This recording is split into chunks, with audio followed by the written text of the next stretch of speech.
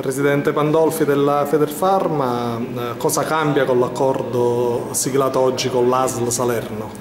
Dal 5 giugno alcuni principi attivi, o meglio alcuni medicinali che prima venivano distribuiti attraverso le farmacie distrettuali saranno distribuiti, saranno dispensati dalle farmacie aperte sul territorio, sia dalle farmacie private che dalle farmacie comunali.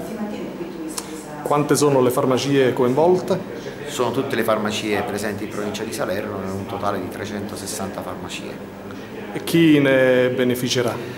Soprattutto gli utenti che potranno ritirare questi farmaci legati a particolari patologie in tutte quante le farmacie, in tutti quanti i comuni e quindi avere un maggiore, un maggiore accesso a questi farmaci che prima venivano ritirati presso le farmacie distrettuali.